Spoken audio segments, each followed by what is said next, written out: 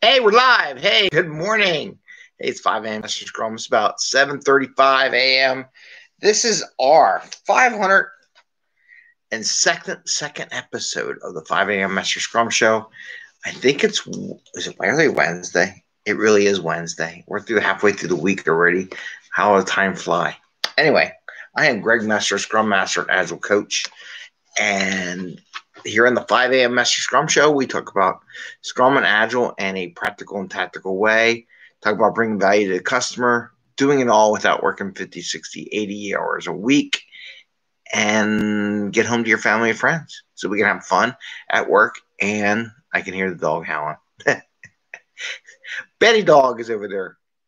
Anyway, hope you're doing well. Kids are in school. They're off at least on the bus. Things are going. Um, had success last night. Completed my uh, initial Kanban class, which was good. It was good hearing, seeing it, and, and getting the information from the experts on how things are really supposed to do.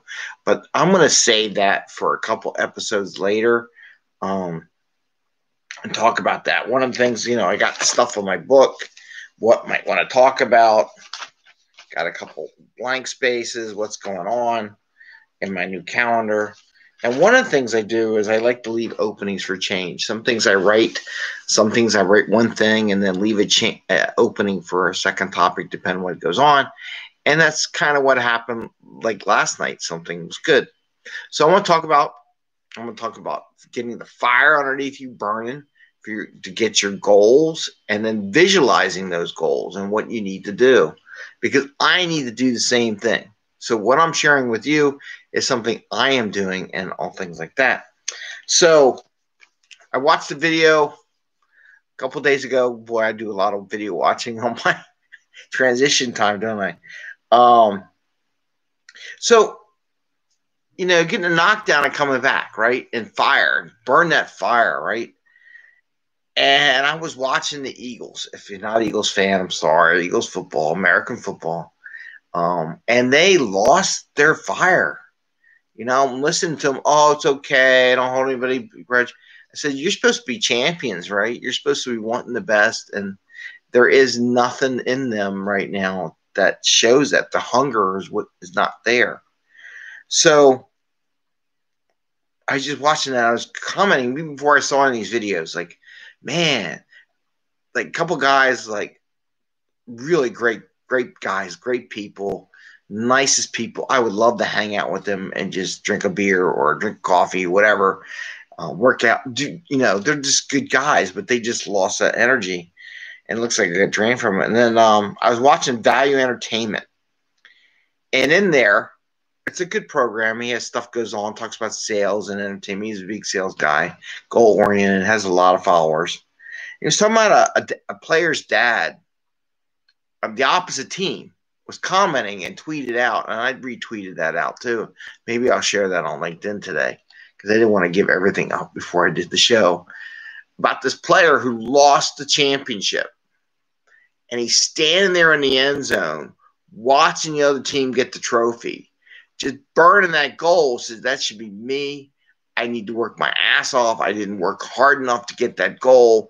I got to visualize visualize the first comment, one of the things we're going to talk about today, me up there on stage next year, and the father of the other players, the the guy, he's comments, um, oh God, he's going to come back next year like vengeance. Watch this guy because he is dedicated and has visualized him getting there. At least I hope so. When just crying, but all the other players are gone, so they're all crying, but he's standing there looking at. So I think that was true about what that guy said, and I do thank that father for sharing that. I think it was Milton, Mr. Milton. So got that. So what's funny? All this talk about drive and and passion and and goal setting that's out there. Well, got me rethinking two things. I'm going to give you two stories mentoring stories of what I've had. I had to take the glasses off to read these because I wrote some notes down. So I was rethinking a, a conversation I had with my boss the other day before I left. And did I do the one? There's actually two. Okay, let's do my let's do my boss first, and then we're gonna do this job interview I had, um, and there was a protector potential job that I was looking at getting as a, high level influencer of stuff. So it's interesting how that goes. So here's here's what we got. So um, my boss and I were talking my last day before I left, and he left open the door for allowing me back for um, funding and and HR rules are fine. So it was great. I mean, it was good. I don't have nothing against I it, business is business. I told them things that I see in the organization that they need to change, and it's been the same things I've been saying for the past two years. So we'll see what this happens. I doubt it'll change. Um, so we chatted. We ended up talking about him bringing me back to talk about certain topics because he knows I talk. I do speeches. I do public speaking. I encourage teams. I talk about agile ideas and mindset, Scrum, Safe. Now I can do Kanban. I can talk about that. Maybe I will. Um, because I because it validates what I do and it is helpful. Um, to share with his team's topics, right? And I said maybe next year, like 2022, when I'm famous. Okay, so this is what I said. I said in 2022, when I'm famous, write a book, do a lot more public speaking, get really engaged over the next year. Um, he laughed a little, so he gave a little giggle.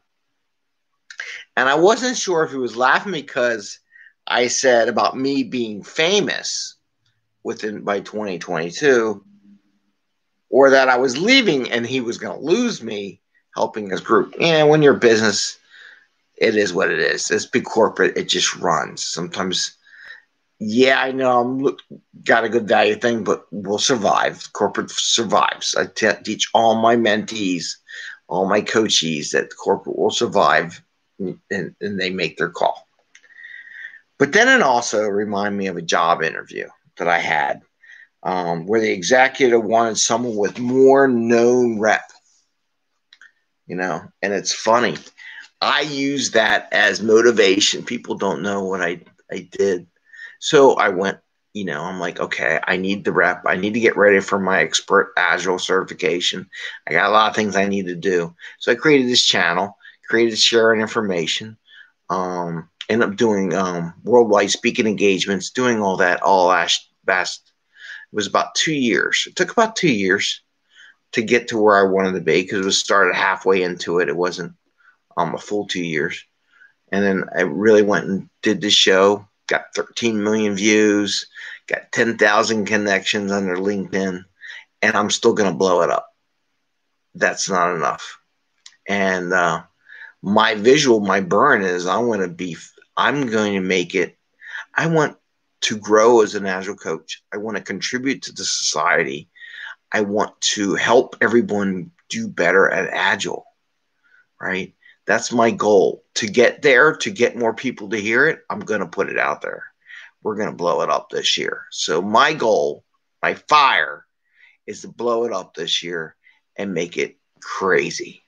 So, hopefully, you all listen to me and, and, and, pay, and give me ideas on how to make it crazy. I really like, would like your opinion on making it crazy and blowing it up.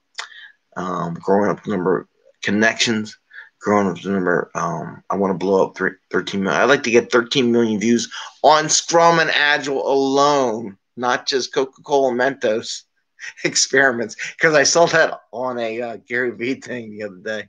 So it's good. So now, so I talked about that part. How much time we got left? Always keep an eye on. We got nine minutes. We're at the nine minute mark. So burn it up because sometimes people just gotta egg you on. Like I had that that that football player had the vision, the the the fire burning because he says I'm going to be the one on the stage next year. Me, my boss, that one interview job says, "Well, you're not fam- you're not famous enough. You're not known enough."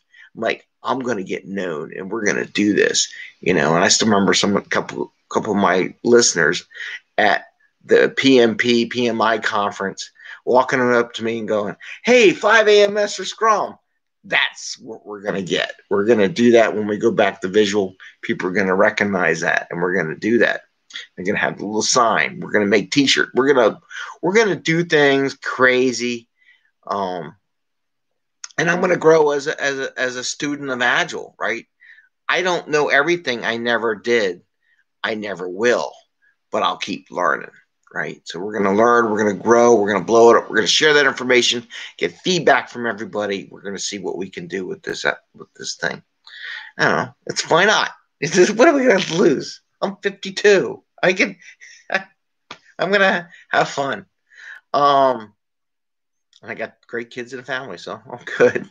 I got two dogs that I just adopted, howling over in the background. So, so that's the that's the the drive to be there to show everybody that I could do it. I know I can do it, and I'm going to do it. Um, and we're going to see what happens. We'll do it my way, though. We're not going to do it some other ways where we lose life and not have to hang out with family anymore. That we're not doing that part. I'm hanging with family, but we're going to succeed. So we're going to get that. Now, the next thing is funny. Like I said, I always leave a spot. I stumbled onto a LinkedIn live feed last night. They were talking about some famous people and how they got uh, famous and their goals. And one of the things that stuck to me before I, I fell asleep when they were doing it was um, visualization. Your visual board. What's your goals? How are you going to get there? And what was missing, and what I saw missing in last year's board for myself, was what are the steps that I need to visualize to get to that goal? Whatever they are, they may be right or wrong, the things I need to do to get there. And one of the things we miss on Agile, Safe, Scrum, Kanban, whatever, we talk about a lot, but we don't do the visualization of the road to get there. So we need to visualize that path. What kind of minor achievements? Kind of things need to get done? How do we reflect on it? How do we pivot? How do we change? Because I'm going to tell you right now, in six months, things are going to change. I know it. I can make all the plans I want. Hey, there's Haywood. Hey, how are you doing? Yep. So I know things are going to change in six months, right?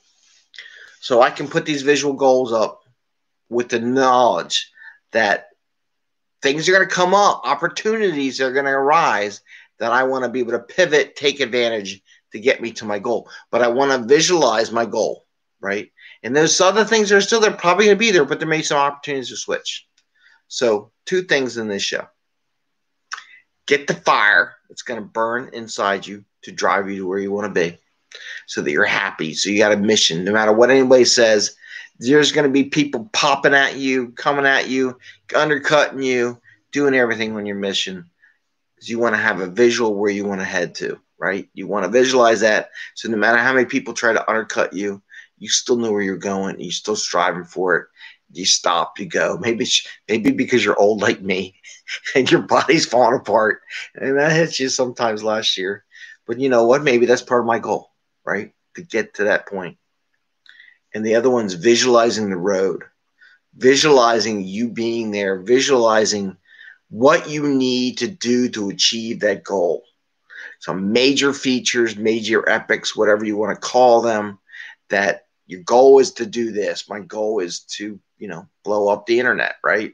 With Scrum and Agile and be everywhere and be there and do that. How do I do that? There'll be ways out there. How do I lay out the groundwork to get there, the framework to achieve that? We'll see. We'll see how it goes. I don't share everything. Um, but anyway, but have those two things. Get the fire in you, something that motivates you to do what you want to do and how you want to do it. That way when people try to do it, you're still you're still solid. And two, visualize that path. You got to visualize that. Those two things you need to succeed. Um, part of my visualization is be happy with my family. So I'm not traveling around the world. I might travel, but I'll take them with me. Maybe COVID will be over. Who knows? Who knows? Anyway, so there's two things I want to share with you today. It's a new year, goals. They develop as they go. I'm not worried about having every freaking little goal written down on a piece of paper and plan it to that goal give some good things, some solid things I'm going to write down and do myself and prepare. And I wish you all good luck on your goals, your visualization. Hopefully, your fire isn't because you just lost the championship. Just fire because you're passionate about something. Okay? And you want to have fun and enjoy it because when you're passionate, you enjoy what you do. That's the end of our show. 15 minutes is up. Daily Scrum's over. Please give us a thumbs up if you like the show and ring the little bell so that we know what we're doing next. All right. Take care, all. And happy scrumming. Wish you the best. Bye.